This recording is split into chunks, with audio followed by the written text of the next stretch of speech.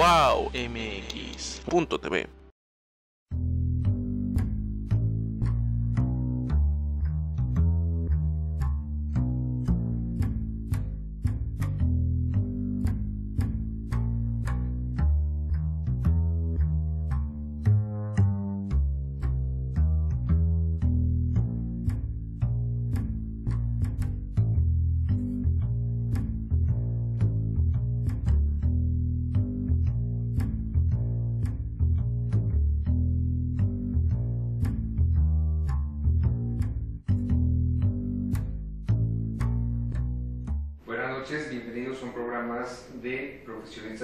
Progreso, este miércoles 26 de febrero del 2014.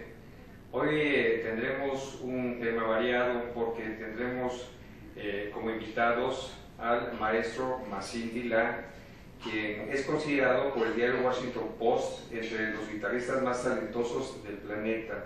El guitarrista polaco Marcin Dila es un fenómeno inusitado en la historia de la guitarra clásica actual, especialista y conocedor de, y melómanos lo colocan dentro de la élite mundial de la guitarra clásica. Se ha ganado este lugar entre otros debido a los numerosos premios que sin precedentes obtuvo en 1996 y 2007, 19 primeros lugares en los concursos de mayor prestigio y tradición en Europa y Estados Unidos de América. Su último logro fue ganar la medalla de oro en el 2007 en el Guitar Foundation of American International Competition Estados Unidos, el concurso Ciudad de Estados Unidos, México y Canadá en 2008 y 2009, la grabación de un recital en vivo para Malt Bay Publications y la eh, grabación de un CD para Nexus que llegó a estar entre los top eh, 10 best-selling albums. En septiembre del 2008 su DVD Babel, eh, Babel eh, Royal Class, Castle at the Dusk fue nombrado en el 2010 por los eh, Frederick Awards equivalente al Grammy en la categoría Solo Classical Music Album of the Year. La temporada de conciertos 2012-2013 de Massin Dila lo ha llevado a debutar en la prestigiosa Carnegie Hall de Nueva York durante la extensa gira que por dos meses realizó por Norteamérica. Posteriormente a ello se presentó una vez más en Concert House de Viena y culminó su gira europea en Koblenz International Guitar Festival and Competition en Alemania, festival en donde ya es un invitado regular. Seguido a esto, tiene en conciertos eh, tanto en México como en Estados Unidos en la Guitar Foundation of America Festival. Durante 2011-2012 debutó con la eh, Warsaw Philharmonic dirigida por Christian Armich, presentando en el concierto del sur de Manuel M. Ponce y el concierto de Aranjuez de Joaquín Rodrigo en dos noches consecutivas. Asimismo, ofreció recitales en Polonia, Alemania, Austria, Rusia, Reino Unido, Grecia, Portugal, Noruega, Turquía, España, Italia, Holanda, Escocia, Eslovenia, Suiza y varias ciudades de México. En 2011, su gira por Norteamérica lo llevó a Cincinnati, Lexington, Chicago, Los Ángeles, San Francisco, New Jersey, Seattle y presentó en la Riverside Sinfonia el doble concierto para guitarra y bandoneón de Astor Piazzolla. En 2006, Cecilia Rodrigo, hija del legendario compositor español Joaquín Rodrigo, escogió a Massin Dilar para el estreno mundial de Tocata, obra recientemente descubierta cuya premier se realizó en el Museo Reina Sofía de Madrid. En el 2002, en el eh, séptimo International Guitar Convent en Alessandria, se le otorgó la guitarra de oro del premio de la crítica musical por considerársele el mejor joven talento de la guitarra. Se ha presentado en importantes salas como Concert House, eh, Music eh, Brain y Palais Lobkowitz en Viena, Auditorio Nacional y Auditorio Conde Duque de Madrid, San Petersburg Philharmonic Hall de Rusia, Klein House Music eh, Hall de Buffalo, Village Hugel en Essen y Palacina Liberty de Milán. Marcin Dylan nació en Chosov en 1976. Recibió su primera lección de guitarra en Ruda Slaka Music Conservatory de Polonia. De 1995 a 2000 estudió en la Academia de Música de Katowice con Adi Wanda Palax. Posteriormente presentó sus estudios con Oscar Giglia, Sonja Bauer y Carlos Marchione. en la Academia de Música de Basilea, Suecia, Freiburg, Alemania y Maastricht, Holanda, eh, respectivamente. Actualmente es profesor en la Academia de Música de Krakow y Katowice. Eh, welcome, welcome uh, to the show, Marcin Dila. Thank you, it's my pleasure. Eh, es un impresionante currículum y pues esperamos que sea todo un, un, un gran programa un, y que nos interpretes algunas de las piezas, tus preferidas, tú nos dirás cuáles. Y también nos acompaña Fabiola, quien es Sánchez, quien es pianista de formación. El motivo de esta reunión es porque se está llevando a cabo el gran festival de guitarra de la Ciudad de México, Fabiola. Entonces, ¿por qué no empezamos para que invites a todos los que nos están escuchando a este evento y que nos digas cómo nació la idea y por qué se está dando? Claro que sí. Bueno, mira, ya estamos a punto de cerrar este primer gran festival. El viernes será el último de los conciertos, el concierto de clausura, que estará a cargo de los maestros Eduardo Fernández y Paul Galbraith que por la historia que tienen dentro del mundo de la guitarra, pues son personas ya muy reconocidas. Em, esta idea de crear este festival surge un poco de la visión de Jorge Palafox, mi socio, quien es guitarrista de formación y que durante su juventud se dedicó a ir por todo el país eh, yendo a festivales que se organizan en otros estados de la República. Y me contaba que de joven iban en dos, tres coches, viajaban cinco o seis horas para ver a su artista favorito y regresaban a la Ciudad de México. Y eso es una experiencia que lo dejó muy marcado, porque se dio cuenta que aquí en la ciudad no hay este tipo de festivales. Entonces, ha sido su sueño durante mucho tiempo, porque, eh, digo, sí debo de señalar que en algún momento de la historia han habido festivales de guitarra aquí en la Ciudad de México, pero no de esta magnitud. Los festivales que actualmente tenemos son más bien de tipo escolar, en los cuales pues, los invitados normalmente son personas con trayectoria, pero normalmente nacionales, y ocasionalmente uno o dos invitados con trayectoria internacional. La intención de este festival es reunir a los mejores exponentes a nivel mundial y tenerlos todos juntos en esta gran fiesta. De ahí nació esta inquietud, de esta vivencia que tuvo en, su juventud Jorge y que lo dejó marcado eh, en ese sentido. Él siempre quiso tener grandes figuras cerca y compartirlo con la gente. Porque una de las cosas interesantes aquí en la ciudad es que ya tenemos pocos festivales y que además han ido muriendo.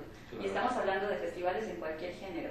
Entonces, que nosotros queremos de alguna manera rescatar y contribuir para que la gente sepa que existe eh, la expresión artística a nivel mundial y que la puedan tener al alcance de sus manos. Es una labor muy importante, Fabiola. Felicidades. ¿Y podrías decirnos eh, eh, el día miércoles ¿A qué hora tenemos los, este, los, el evento jueves y viernes? Que sean los claro que sí. Bueno, ahorita miércoles a las 8 y media de la noche está por llevarse a cabo el primer recital de gala que estará a cargo de los maestros Álvaro Pierri, bueno, que sepa a las 6 de la tarde, y del maestro David Russell a las 8.30 de la noche. Eh, David Russell, debo mencionar, eh, ganó un Grammy en 2005 como mejor disco solista en su género y eso es un gran logro que pocas veces han tenido músicos clásicos. Digamos que por trayectoria, por, trayectoria, por eso es que David es tan reconocido a nivel mundial y él ahorita se va a hacer cargo de este concierto. El día viernes, que es el de clausura, ya lo mencioné hace rato, está a cargo del maestro Eduardo Fernández y del maestro Paul. Una de las peculiaridades del maestro Paul Galbraith es que toca una guitarra de ocho cuerdas. Es una cosa eh, fuera de lo común. La guitarra tradicional tiene seis cuerdas y el maestro Paul, además de que tiene una guitarra de ocho, le puso una espiga, como si fuera violonchelo. Y entonces toca la guitarra en una posición que no es la tradicional. Y eh, bueno, el sonido que logra con, esta, con estos implementos que él ha hecho, pues es realmente fuera de serie. Correcto. Muy bien, pues eh, mira, eh, en el siguiente, tu siguiente intervención ya nos dirás eh, en qué lugares se llevarán a cabo y, los costos, porque es muy importante que el público lo sepa. Ahora, eh, si gustas, le, haré unas preguntas en inglés y, tú nos, nos traduces para el público y, nos traduces la, respuesta de él. ¿Te parece bien? Claro que sí. Sí? Ok. Can Mas you sí. talk in Spanish? No. No? No, English? Okay. en que si tú traes en español, ¿no? Tú traes en Es que español. hablo un poco de español, Marcel. Ok, no okay. Uh, Masin, why and how are you taking part in this year's uh, Grand Festival of Guitar of the Mexico City? Why?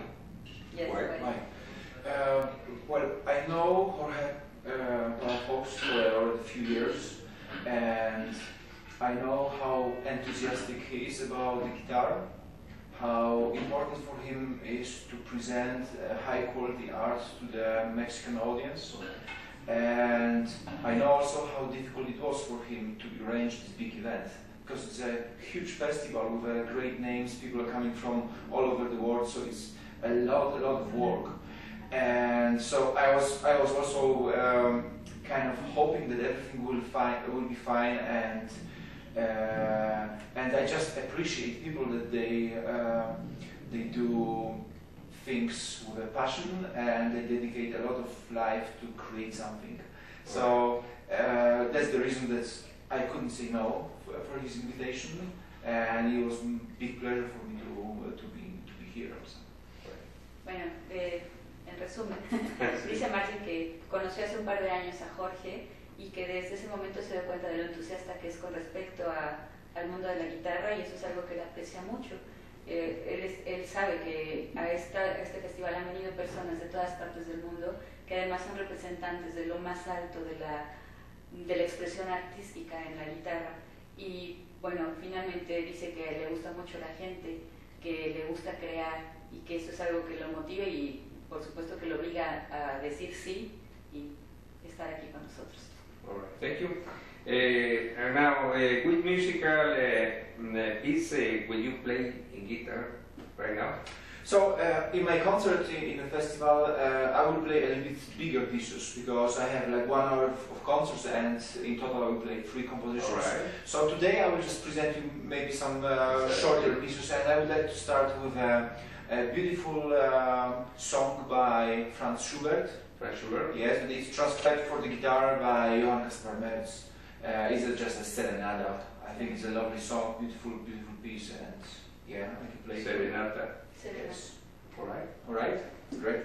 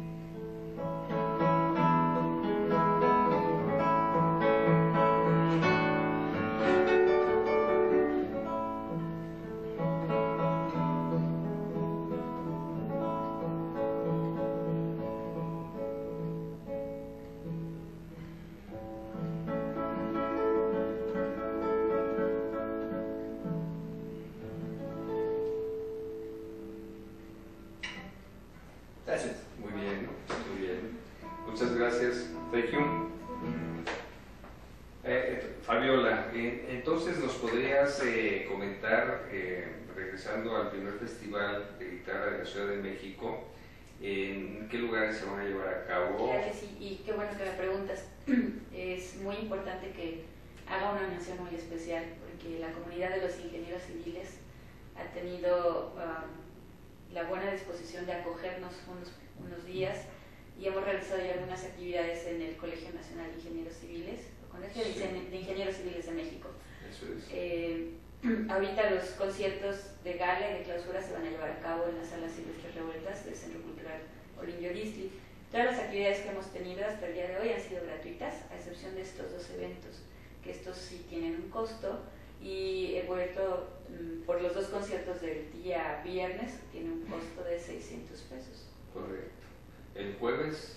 En jueves eh, sí, está, bueno, estamos todavía trabajando un poquito al respecto porque hemos tenido algunos inconvenientes Sí. y aun cuando está programado Marcin para tocar el día jueves, Sí. Aún no definimos la sede. Es probable que se lleve a cabo el viernes el Ah, concierto. perfecto. Entonces, bueno, cualquier, cualquier este cambio lo vamos anunciando permanentemente en nuestra página web, Muy la bien. página del festival, para que la gente que esté interesada en acudir con ¿Nos nosotros. puedes decir cuál es la página? Claro que sí, es www.festivalguitarramexico.com. Ahí pueden encontrar toda la información de las actividades que hemos estado realizando. Perfecto. Pues muchas gracias. Al contrario. Ahora, eh, podemos hacerte unas. Eh, can, can we make eh, some. some eh, eh, exactly. Can, can, any type of uh, concerts uh, plays in guitar? Uh, what was the, All, all tape, uh, any Yeah. types of, of concert? He's a specialist. Él, Specialist. él- él es especialista en guitarra. All right. Entonces, todo el tiempo su interpretación es como guitarrista clásico. Exacto. All right. Uh, with, uh, the, the other uh, the other pi- piece, the uh, musical piece. piece is uh, so uh, would you like to have two more pieces, right? all right. Yes? Yes. Two more. Two more. Okay. So, um, as I said, I play a bit longer pieces, but I can just play maybe short part of it. All And, right. Uh, the piece that I will play for the first time in my life, actually here in Mexico City, is a beautiful variations on a on a folia by Manuel Maria Ponce, the Mexican composer. Exactly. So I choose the Mexico City to do a premiere of this uh, uh, piece because it's, um, I think, the right place. And uh, at the end of uh, these beautiful variations, there's a fugue.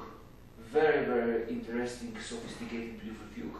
So I can play this fugue because it's just, I think, three, four minutes. Mhm. So it's not too long, but it's very interesting. All right.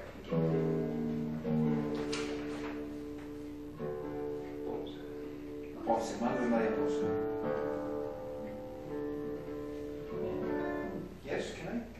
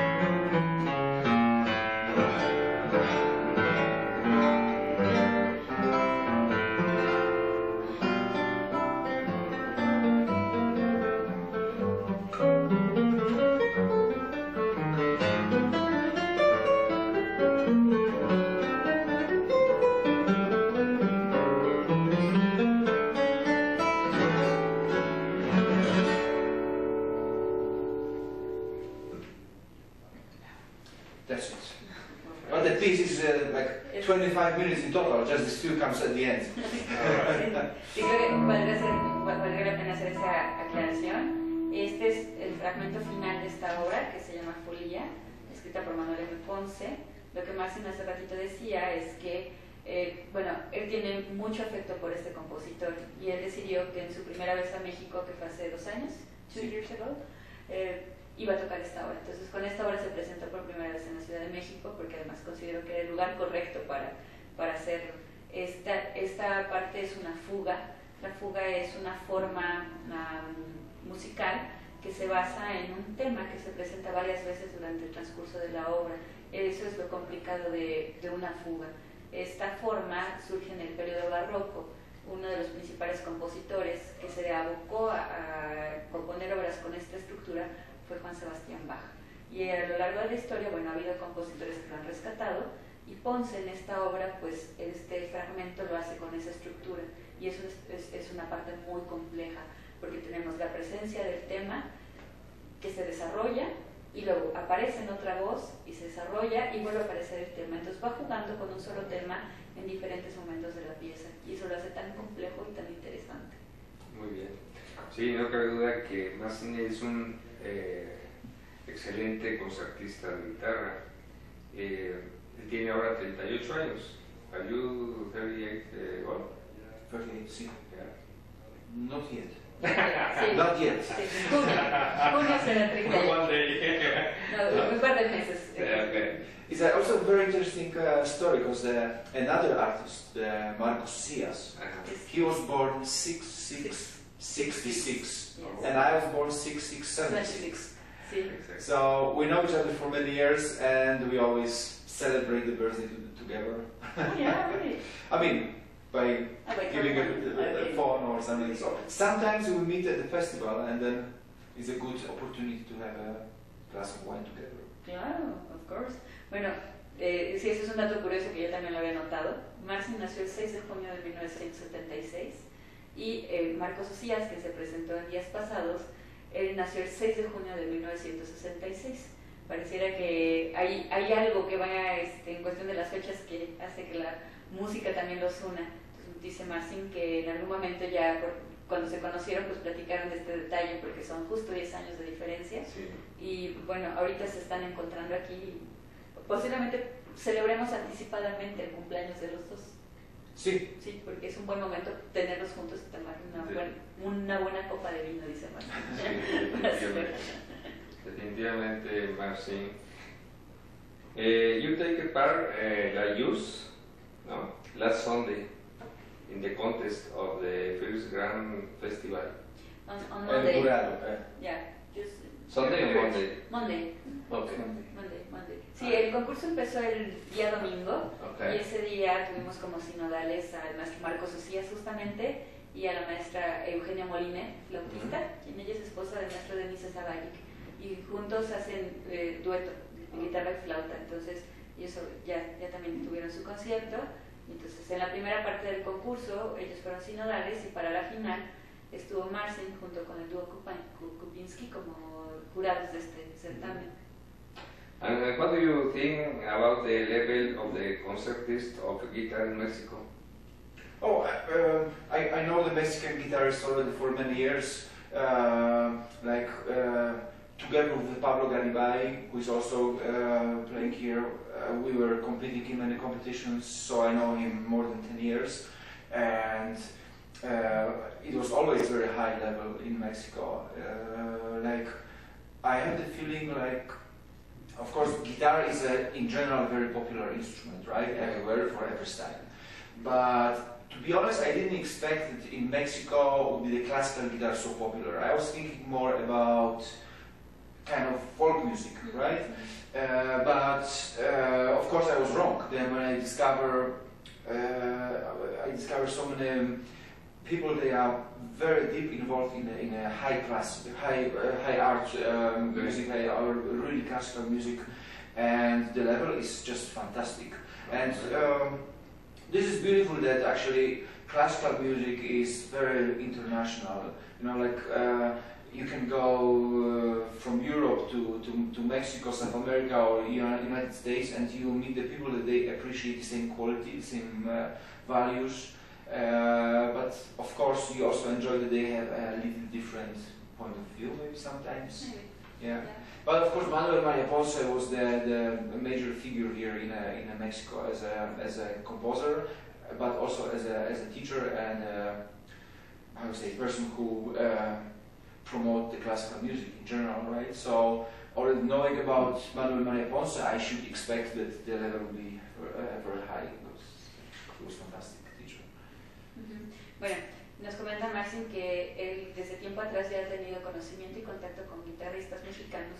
Uno de los máximos exponentes actuales, más o menos de la generación de Maxim, pues es Pablo Garibay, con quien se encontró en muchas ocasiones en concursos hace 10 años aproximadamente y pues siempre han ido de la mano en, en ese sentido porque ambos han llegado a finales de concursos y eso ha causado bueno pues que haya una buena relación entre ellos y eso es algo que tiene muy sorprendido a Marcin porque Marcin en algún momento pensó que en México podría ser más bien la guitarra eh, encauzada hacia el lado folclórico más que popular, ¿no? Más que clásico y dice, pues estoy, estuve equivocado, ¿no?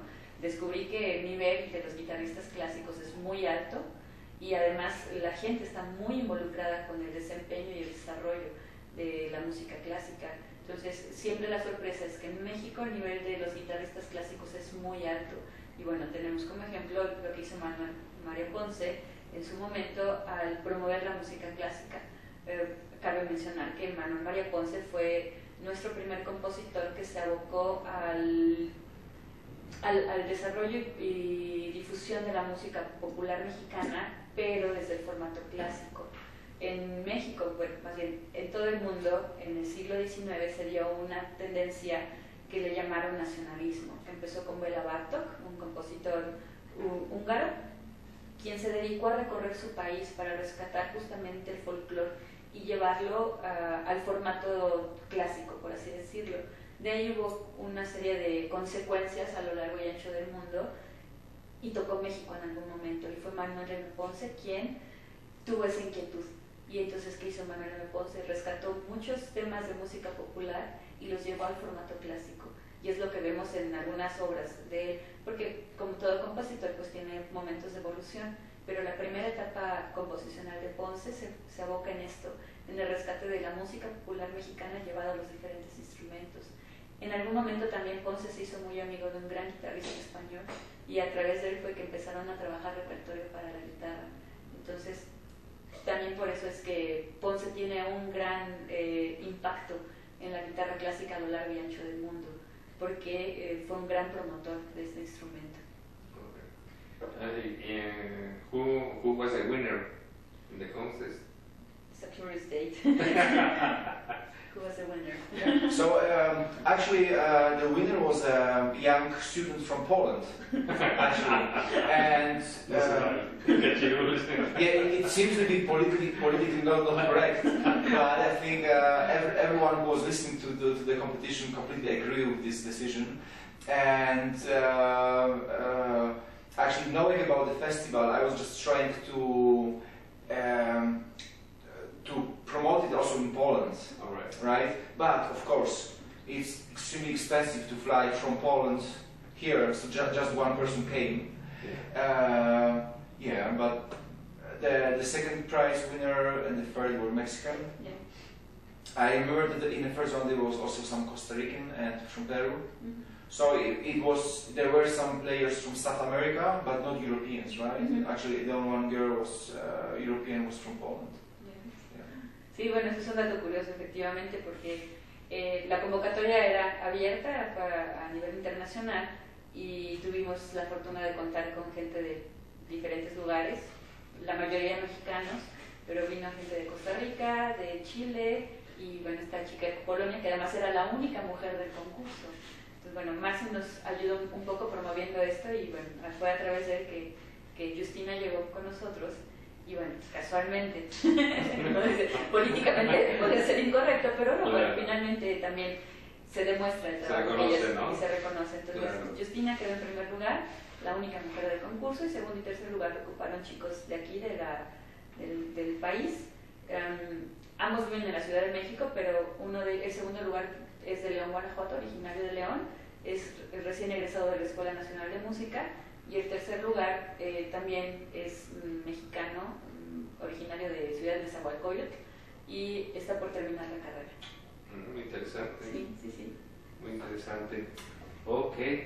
Eh, vamos a, tener algunas otras preguntas, pero antes que eso quisiera mencionar que este programa está eh, compartido con el tío Pablo eh, Rojano Cabrera con el tema sobre las eh, propiedades que tiene el ajo, que es, eh, digamos, conocido como un condimento, pero que nos puede ayudar a bajar de peso, a bajar los niveles de tri- tri- triglicéridos, que son problemas de salud muy importantes en México, ya que eh, eh, uno produce pues infartos y el otro produce un- una enfermedad que es muy muy común en México, que es la diabetes, ¿verdad? Entonces este programa está también compartido y más tarde eh, entrará el querido Pablo Rojano a participar en, en- en- en dicho programa.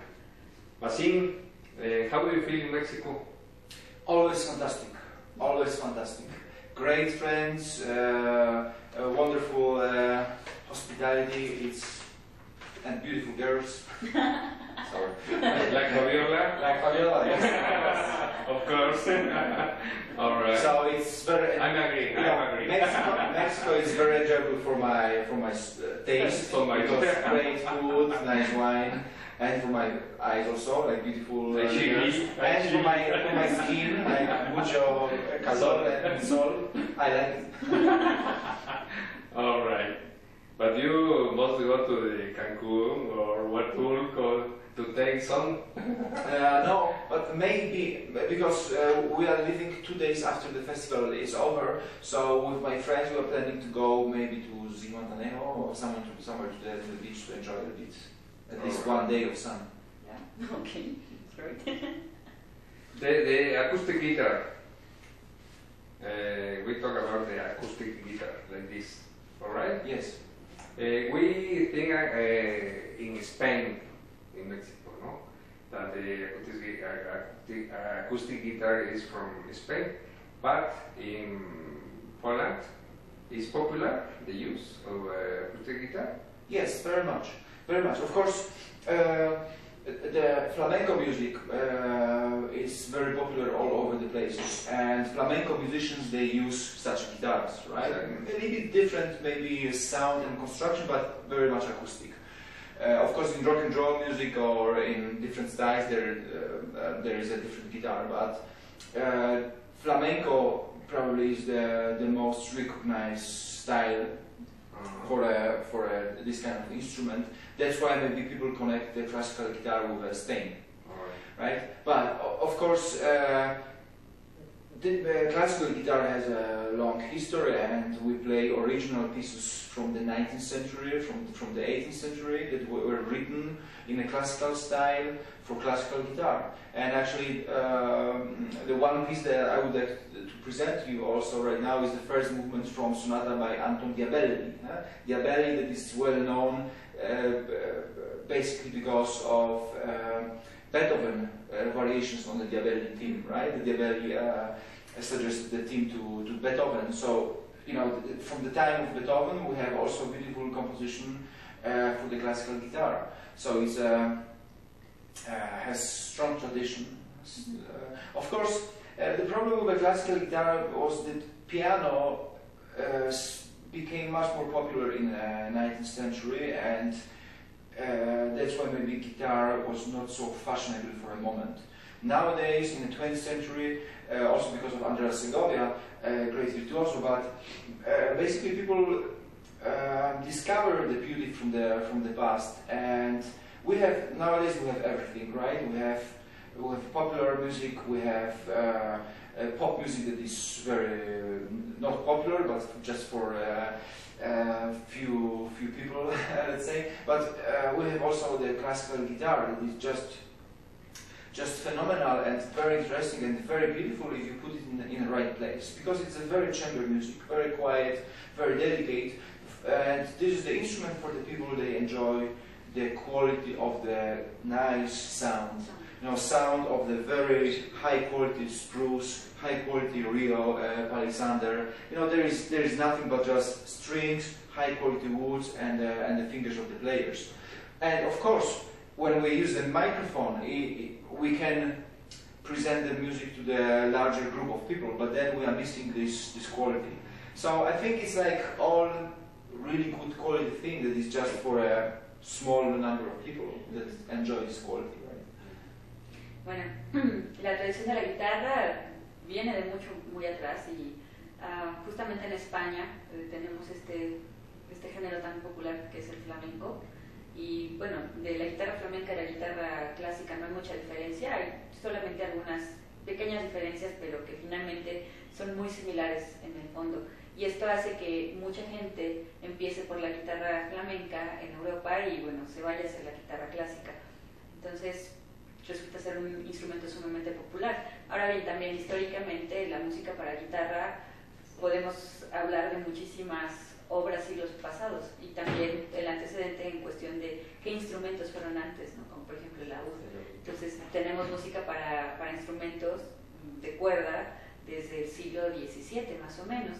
Ah, pero tiene más énfasis, bueno, o un poco más de um, enfoque eh, de composiciones para este instrumento, pues por ahí del siglo XIX, que a la par de Beethoven, bueno, tenemos las, las variaciones de Diabelli, que es algo que, que puede tocar este Marcin, y uh, de ahí, bueno, pues ha habido, ha habido momentos, momentos grandes de, ¿cómo se puede decir?, de gloria de la guitarra, pero también momentos en los que no ha sido tan popular, ¿no? Como por ejemplo cuando eh, tuvo más popularidad el piano. En algún momento el piano empezó a tener muchísimo más empuje y eso hizo que la guitarra se quedara un poquito atrás, pero fue justamente a través de Andrés Segovia que se rescató mucho la tradición de la guitarra clásica y esto hizo que nuevamente tomara uh, impulso. Ahora también la, la persona que escucha guitarra es una persona que puede tener esa cuestión del acercamiento con un sonido cálido, con diferentes timbres, porque además la guitarra pareciera que no tiene mucha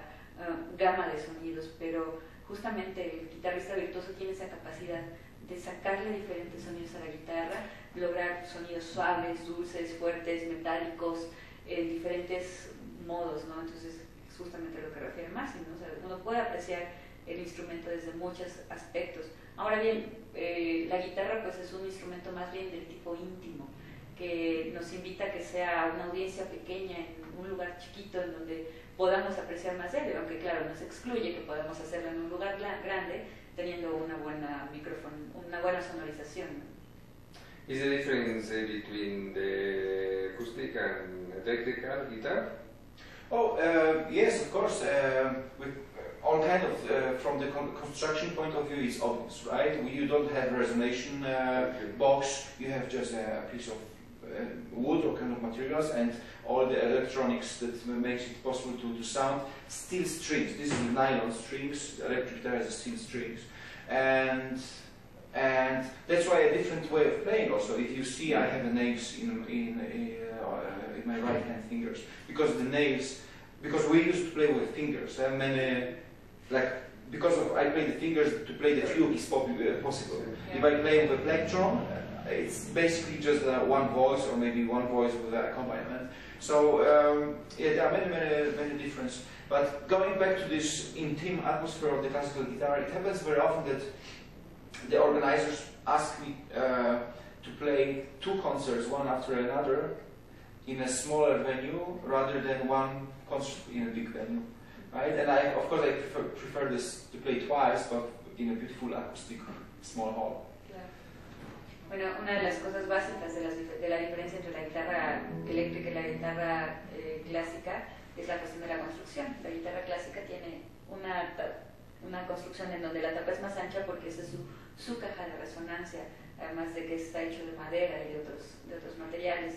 Las cuerdas, por ejemplo, las cuerdas son de nylon en el caso de la guitarra clásica, y en el caso de la guitarra eléctrica son de metal y bueno, está construido con otro tipo de mecanismos, ¿no? Inclusive el grosor lo podemos ver, ¿no? Es una guitarra eléctrica es el grosor más o menos de este tamaño y la guitarra clásica es mucho más grande. Oh, all right.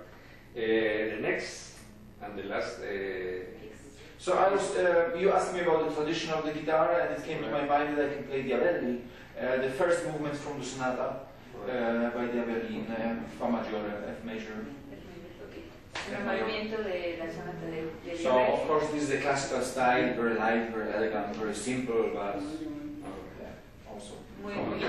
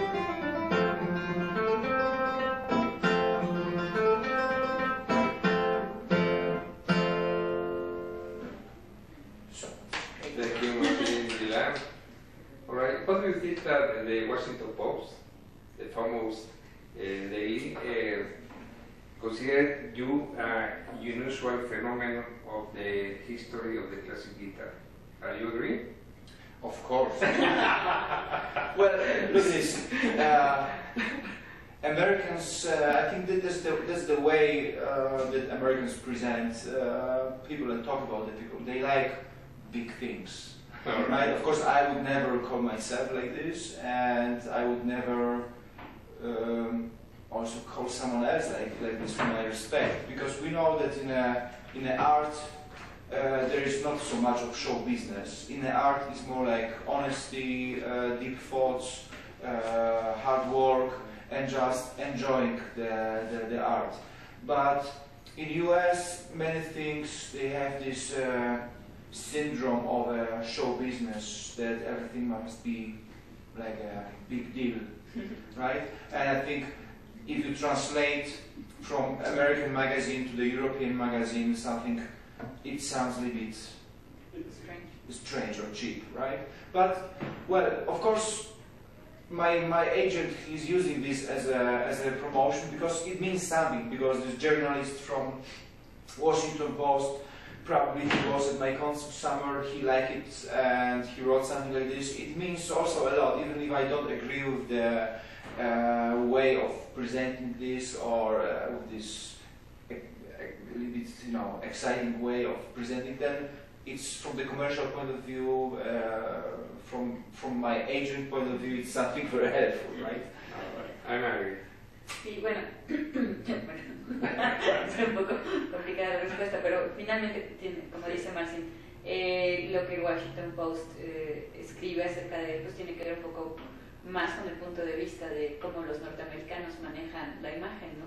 que está más vinculada con el comercio más que con esa cuestión show business. del show business exactamente, sí. ¿no? más que con la cuestión personal, pero pues finalmente es una forma que tienen ellos para dar a conocer a las personas y que en este caso la gente de Marcin que tiene en Estados Unidos pues decidió tomar esta, esta imagen como parte de su presentación. Like a rockstar. Like a rockstar. like a rockstar.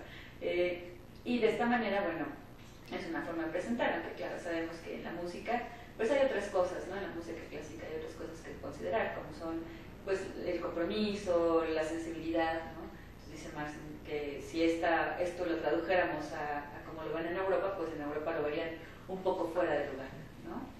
Finalmente, pues es una forma también de presentarse y que seguramente fue la impresión que tuvo la gente de Washington Post en Claro. el concierto al que pudieron que dio allá en verano. Pues muy bien, Fabiola, te agradecemos tu participación, que más que como traductora has aportado muchas eh, aclaraciones y, y hemos visto que pues, conoces bastante de música, ya que eres pianista de formación. Muchas gracias, Fabiola Gracias. Sánchez. Thank you, Marcin, Muchas gracias. to come to the show. Mucho gusto. Gracias. Ok.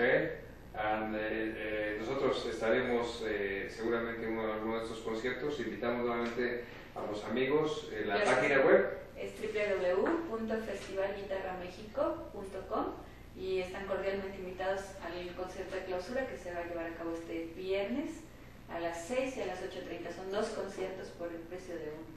Muy bien. Muchas gracias.